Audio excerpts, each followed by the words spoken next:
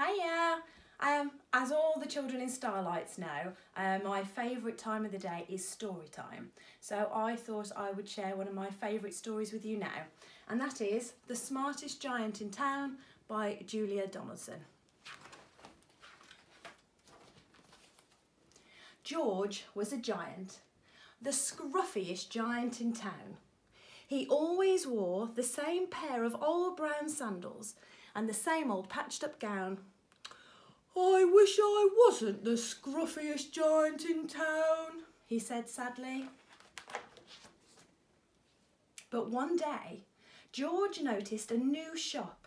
It was full of smart clothes, so he bought a smart shirt, a smart pair of trousers, a smart belt, a smart stripy tie, some smart socks with diamonds at the sides, and a pair of smart shiny shoes.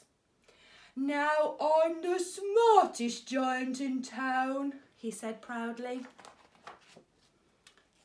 George left his old clothes behind in the shop.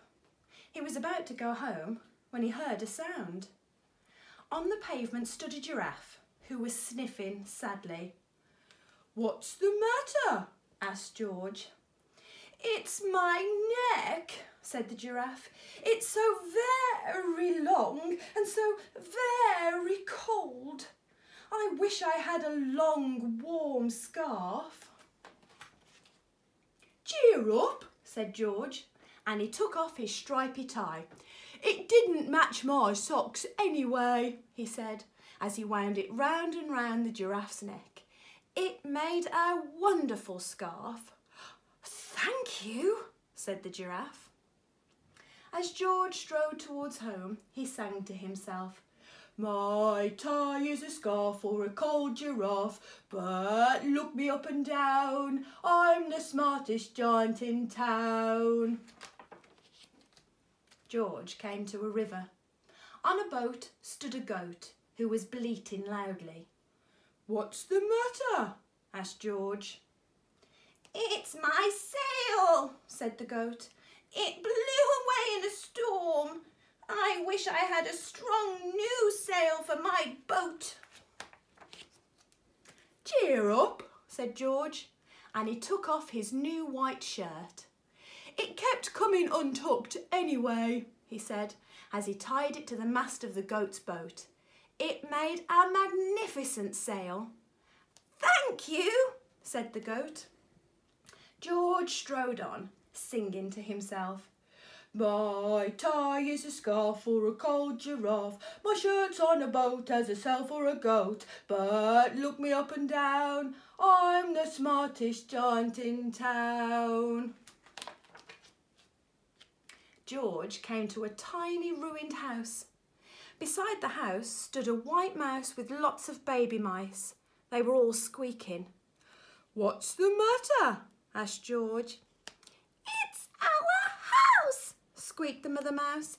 It burnt down and now we have nowhere to live.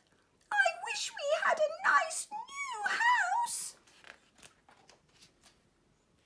Cheer up, said George, and he took off one of his shiny shoes. It was giving me blisters anyway, he said, as the mouse and her babies scrambled inside. The shoe made a perfect home for them. They squeaked. George had to hop along the road now, but he didn't mind. As he hopped, he sang to himself. My tie is a scarf for a cold giraffe. My shirt's on a boat as a sail for a goat. My shoe is a house for the little white mouse. But look me up and down, I'm the smartest giant in town. George came to a campsite. Beside a tent stood a fox who was crying. What's the matter?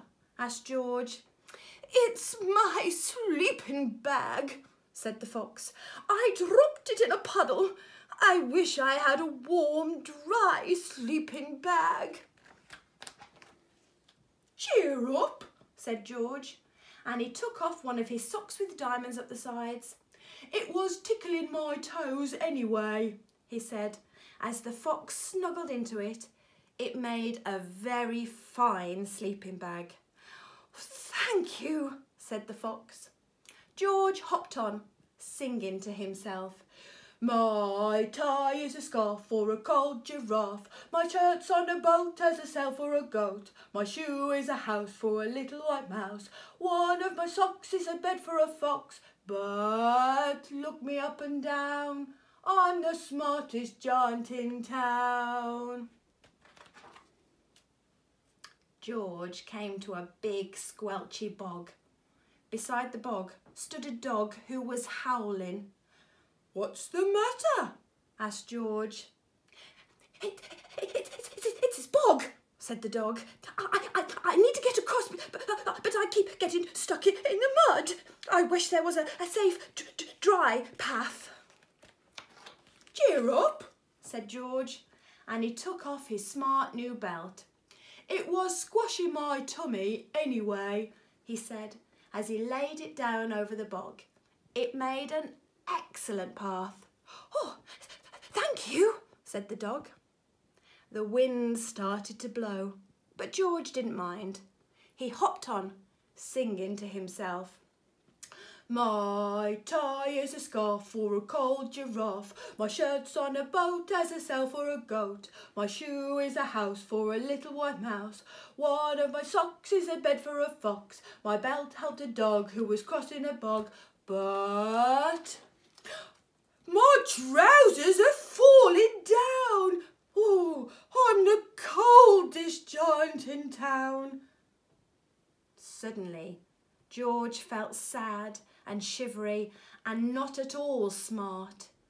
He stood on one foot and thought, I'll have to go back to the shop and buy some more clothes, he decided. He turned round and hopped all the way back to the shop. But when he got there, it was closed. Oh no, cried George.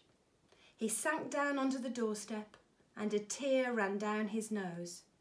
He felt as sad as all the animals he had met on his way home. Then, out of the corner of his eye, he saw a bag with something familiar poking out of the top. George took a closer look. My gown, he yelled. My dear old gown and sandals. George put them on.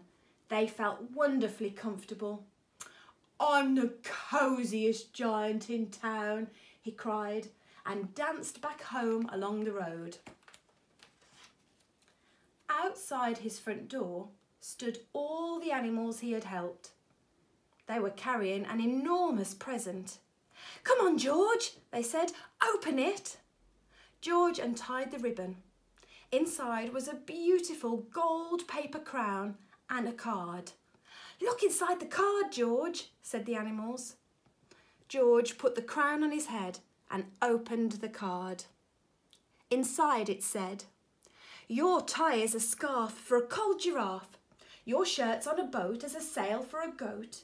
Your shoe is a house for a little white mouse. One of your socks is a bed for a fox. Your belt helped a dog who was crossing a bog. So here is a very fine crown to go with the sandals and gown of the kindest giant in town. The end. I hope you enjoyed it. Uh, I hope you all stay safe and are having lots and lots of fun. We miss you very much.